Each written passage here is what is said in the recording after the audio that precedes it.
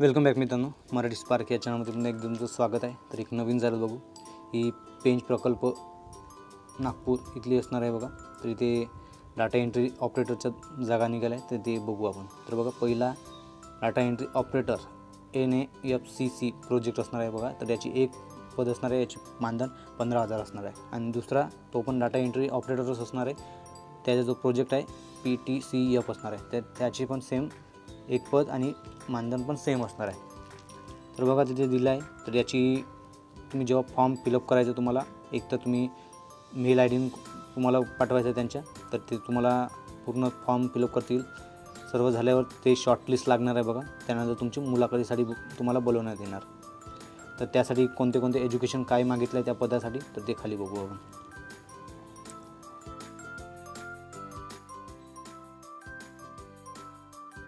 तर पहिला बघा data entry operator N A F C C प्रोजेक्टसाठी तर यासाठी एकूण एक जागा असणार आहे. त्याचे मुख्यालय दिलं आहे बघा उपसंचालक पेंच व्याघ्र प्रकल्प नागपूर. तर त्यासाठी शैक्षणिक पात्रता बघा कोणत्याही शाखेची पदवी मागितली आहे. त्यासोबत तुम्हाला टायपिंग मागितली आहे बघा इंग्लिश फोर्टी आणि मराठी थर्टी मागितली आहे. त्यासोबत तुमच्याकडे M S C I T पण हे आवश्यक आहे बघा. त्यानंतर अतिरिक्त पात्रता म्हणजेच तुम्हाला जे कोणते कोणते कामाचं स्वरूप असणार आहे ते तुम्हाला येणे आवश्यक आहे बघा. M S C I office of Excel तुमचे संभाषण कौशल्य कसे आहेत अकाउंटचे अनुभव असेल तर चालेल. त्यानंतर वन विभाग जर तुम्ही काम केले असाल त्याचा अनुभव तुमच्याकडे असणे आवश्यक आहे. तर ते जर जर अनुभव असेल तुम्हाला तर तुम्हाला प्राधान्य मिळेल. त्यानंतर दुसरा बघा डाटा एंट्री ऑपरेटरच असणार आहे पी टी सी एफ तरी असणार आहे. तर याचा एक जागा असणार आहे सेम मुख्यालय असणार आहे. त्याचे एज्युकेशन हे बारावी पास असणार आहे व M S C I T मागितलं आहे बघा. किंवा तसून संगणक परीक्षा पास असणे आवश्यक आहे बघा.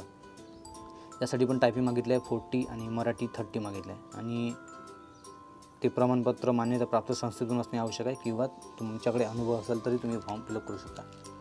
त्यानंतर सेम अतिरिक्त पात्रता मागितल्या बघा. एम एस ऑफिसमध्ये अनुभव चांगले संभाषण कौशल्य इंटरने हाताळणे येणे आवश्यक आहे. अकाउंटन्सीचा अनुभव तुम्हाला येणे आवश्यक आहे. त्यानंतर कोणत्याही शासकीय विभागात जर तुम्ही कमीत कमी सात वर्ष काम केल्याचा अनुभव असल्यास प्राधान्य राहील तुम्हाला. तुमच्याकडे अनुभव या पदासाठी अनुभव येणे असणे आवश्यक आहे. जर अनुभव नसेल तर तुम्हाला फॉर्म भरून काही अर्थ नाही कारण की अनुभव आलेच घेणार आहे. तर बघा त्यानंतर खाली टिप दिली आहे बघा. तर ते कसे फॉर्म फिलअप करायचं ते दिलं आहे बघा. तर दुसरा पॉईंट बघा. पेंच व्याघ्र प्रकल्प संवर्धन प्रतिष्ठान नागपूर पदभरती ही कॉन्ट्रॅक्ट बेसवर भरती असणार आहे बघा. मधील पदाकरिता आवेदन हा तुम्हाला career at Pench at the rate Gmail dot com या मेलवर तुम्हाला पाठवायचे बघा. तर तुम्हाला खाली एक फॉर्म दिला आहे तुम्हाला फॉर्म फिलअप करून तुम्हाला त्यांच्या मेल आय डीवर पाठवायचे बघा.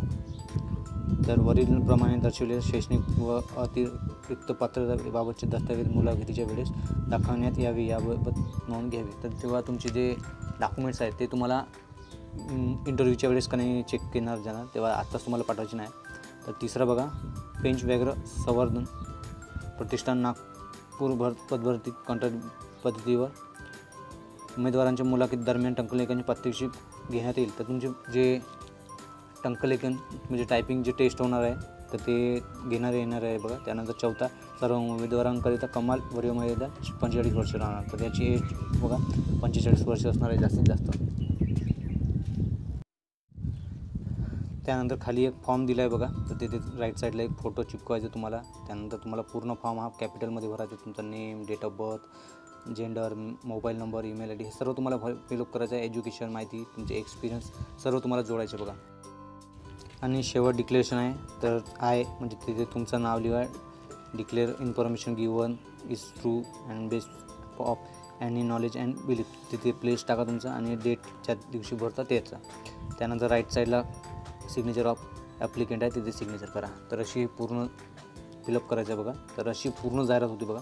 तर हा तुम्हाला फॉर्मॅट तुम्हाला त्यांच्या मेल आय डीवर पाठवायचा आहे. त्यांनी मेल आय डी मी आधीच सांगितली होती. तर अशी पूर्ण जाहिरात होती.